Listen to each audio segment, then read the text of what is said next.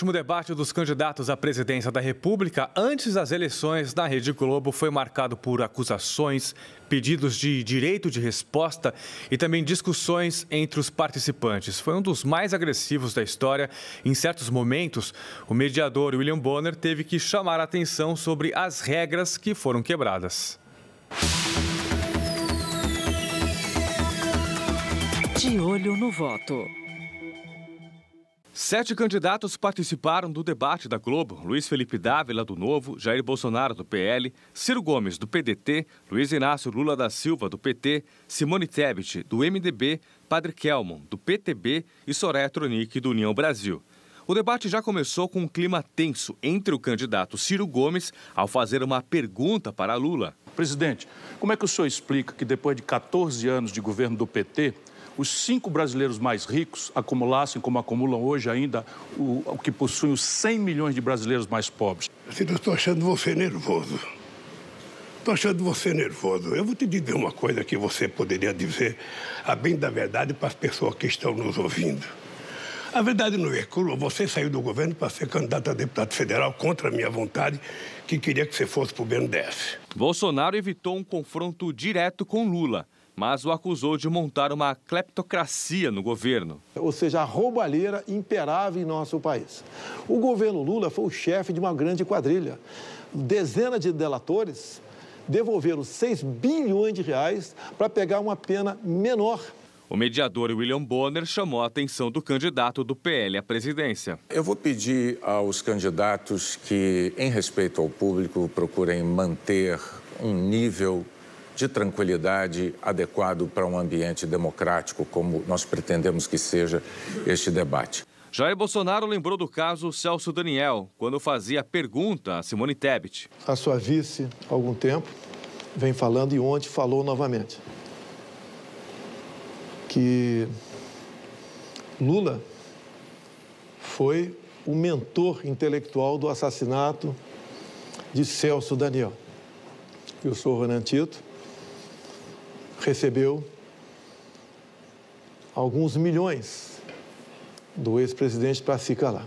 E Lula pediu direito de resposta. Primeiro, o Celso Daniel era meu amigo. O Celso Daniel era o melhor gestor público que esse país teve. Ele foi chamado da prefeitura para coordenar o meu programa de governo de 2002. Acaba de, o, o TST acaba de tirar do ar o site das mentiras mentirosas da sua família, que estava hoje na, na, na, na rede digital sobre o Celso Daniel. Primeiro porque a Polícia Civil deu por encerrado, o Ministério Público deu por encerrado. A candidata da União Brasil, Soraya Tronic, criticou os dois candidatos que lideram as pesquisas. Enquanto eles brigam, a boiada passa. Enquanto eles brigam, nos distraindo, o Brasil passa fome.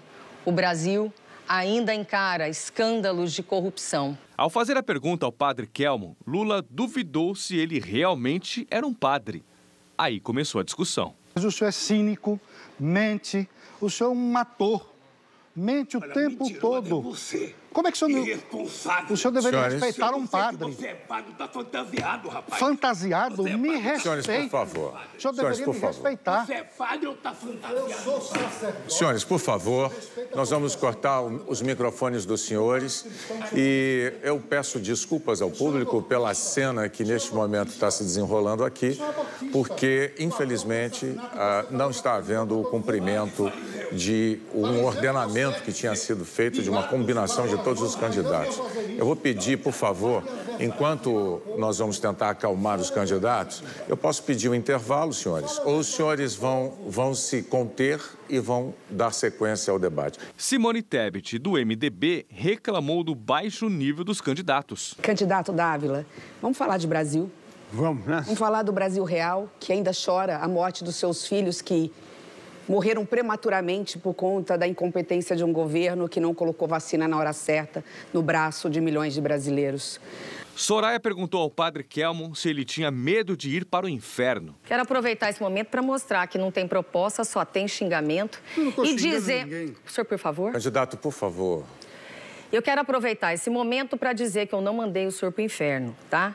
Mas eu perguntei se o senhor não teria medo de ir para o inferno, porque o senhor não disse se, que, se, que deu nenhuma extremunção na pandemia. O senhor, a pergunta o senhor não respondeu. E dizer mais, não deu extremunção porque o senhor é um padre de festa junina. Felipe Dávila, do Novo, disse que o governo Lula provocou uma grave crise econômica no Brasil. O mensalão é compra de voto, é compra de apoio no parlamento brasileiro.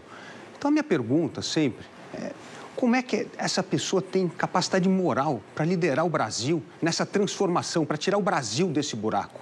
Ciro Gomes, do PDT, ao ver tantos pedidos de resposta, pediu ao mediador se podia esperar fora do estúdio. A gente pode esperar lá fora.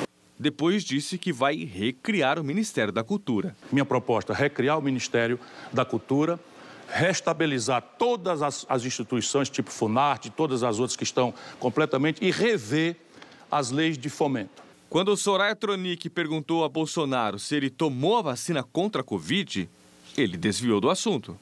Eu comprei 500 milhões de doses de vacina. É, não foi a senhora que comprou. Vacinou-se quem quis. A senhora sabe o que é liberdade? Quem não quiser tomar vacina, que não tome. Eu não fechei nenhuma casa de comércio. Eu não obriguei ninguém a ficar em casa para morrer de fome. Lula disse que vai acabar com o sigilo de 100 anos, muito usado no governo Bolsonaro. Eu vou fazer um decreto acabando com o seu sigilo de 100 anos. Para saber o que, que tanto você quer esconder por 100 anos. Foram mais de três horas de uma tensa negociação entre os candidatos à presidência e o mediador do debate, William Bonner, com um recorde de direitos de resposta. Agora, o eleitor vai decidir quem está falando a verdade.